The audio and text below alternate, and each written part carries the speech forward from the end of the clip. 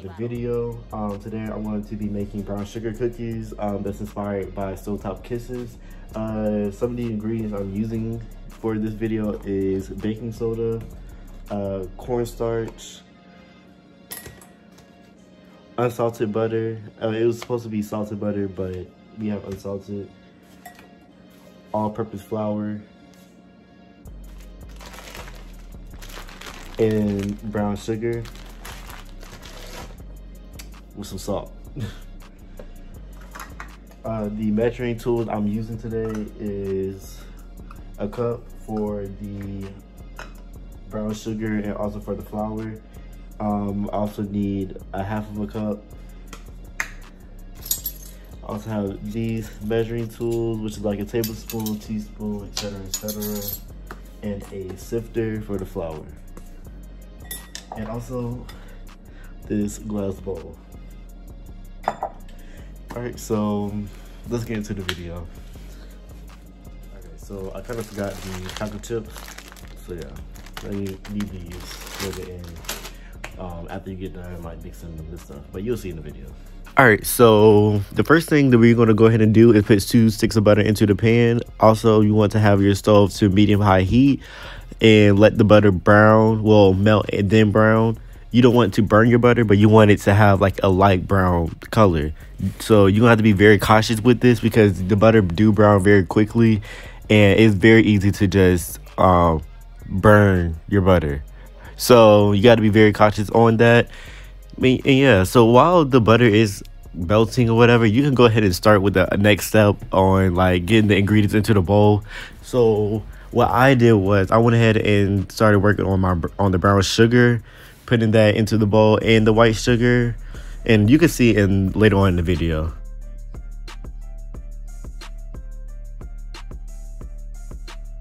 Oh yes, um, I forgot to say when you are pouring the brown sugar into the measuring cup, make sure you just pat the brown sugar down in the measuring cup so you can get an accurate measurement and so it won't be less brown sugar than it's supposed to be.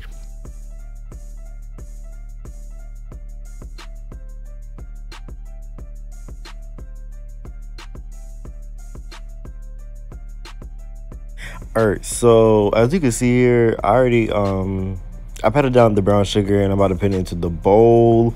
Um excuse me i'm like looking tired. So don't worry don't worry about me right now. Um so in the pan you can see what well, the pie. You can see that the butter is boiling. What you're gonna do is like i'm doing right now i'm stirring it up a little bit just to you know stir it up so nothing will burn or anything and um, yeah just keep your eye on the butter as it melts and bubble and whatnot because this is the browning process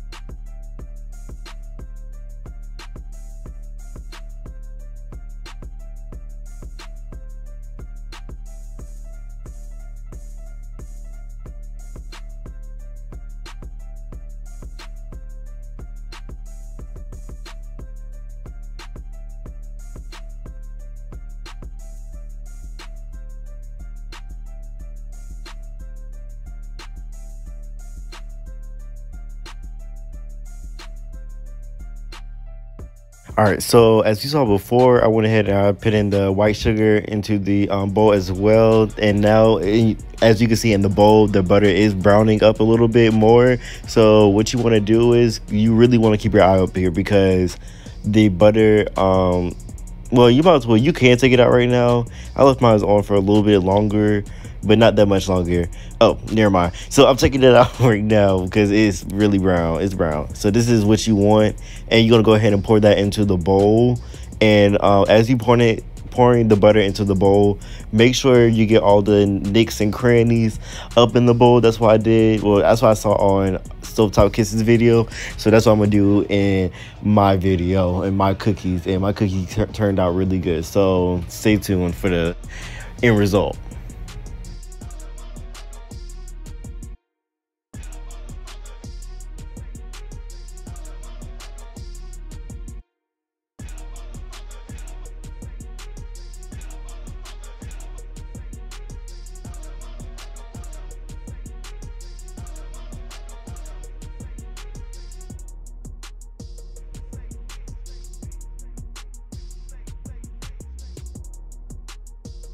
As I just pour in the butter into the bowl, I'm going to go ahead and mix up all the ingredients together so we can move on to the next step.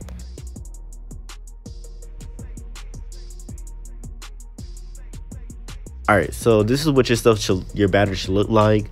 Um, the only thing that's in there, as you can tell, is just butter and sugar. So it should look just like that. But now we're moving on to our next step, which is going to be us adding in our two eggs, as you see right here, also with uh, vanilla extract.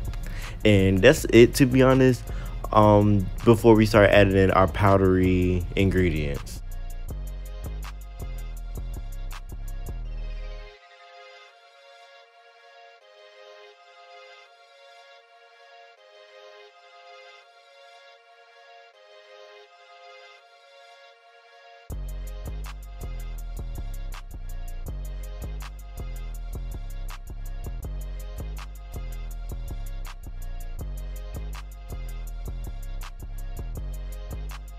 Okay, so as you can see right here, I kind of got too excited using the uh, vanilla extract because I was like, these cookies gonna need some flavor, you know, like some some mm to it. So what I did was I poured it, you know, the measurements or whatever, but then I poured in a little little kick to it. So that's it. That's about it. Oh yeah, don't forget to add in salt.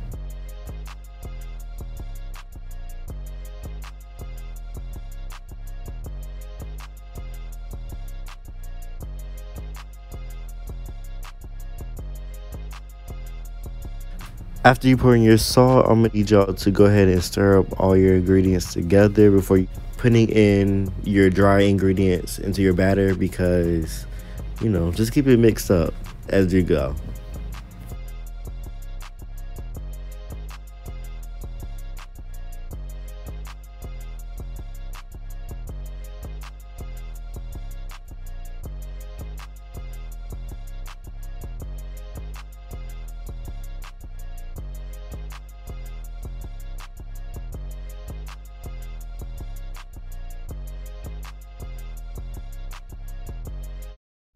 Alright, so now I'm just going to show y'all how my batter looks right now with all the ingredients in there I put in there so far. So now we're going to go ahead and get into our dry, dry ingredients with our flour, our baking soda, and our cornstarch.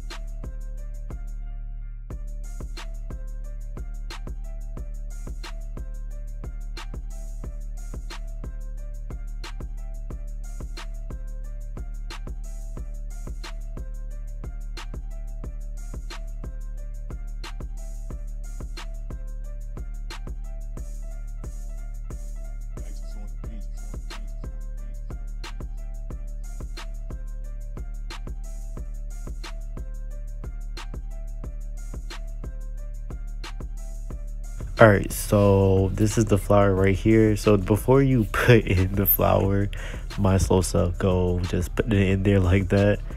Um you want to go ahead and like put that through a sift a sifter i believe that's what it's called? I'm sorry.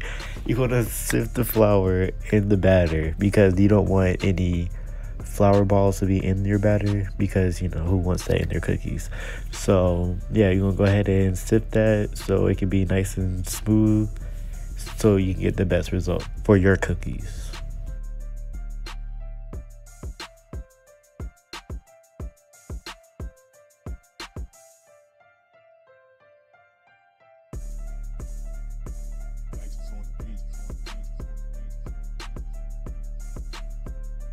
All right, so when you get to this step, um, after you put in all your dry ingredients, you're going to go ahead and use a utensil I'm using right now in the video uh to mix in your all the ingredients together your dry ingredients.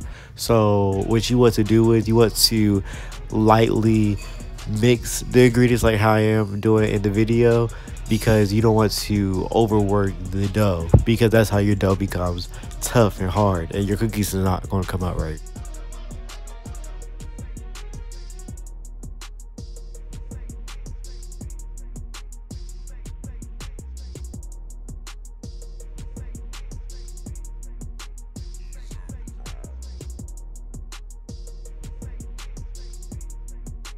Once you are done, lightly mix it in your dry ingredients into your cookie dough.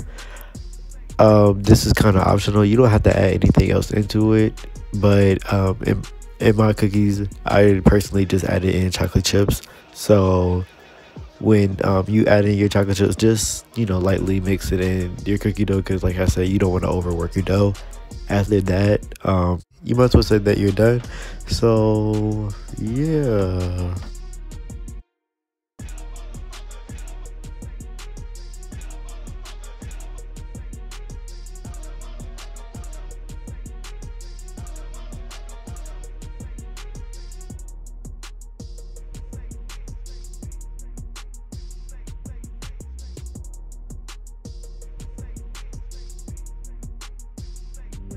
Dough for the cookie. Um it actually came out way better than the first attempt i did um on christmas eve. But yeah so i'm about to put some saran wrap on it put it in the refrigerator let it cool down for an hour and bring it back out and bake it. Um yeah so and when i bake the uh, cookies i'm just basically going to set the oven to 350 and let it bake for at least like 10 minutes and that's pretty much it. And i'm gonna i'm gonna uh, come back with the final product. And yeah. Oh yeah the dough tastes really good. Kind of weird but but yeah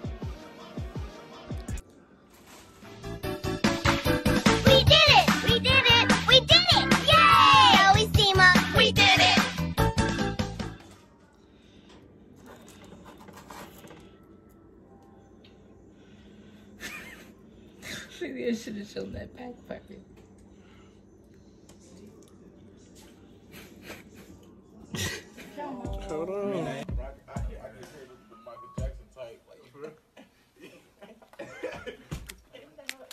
Muy bien. Muy bien. Alright, so this is the end of my video, my first cooking video. If you liked it, go ahead and like, comment, and subscribe. If you stayed till the end of the video, go ahead and comment cookies, and I'll see you in the next one.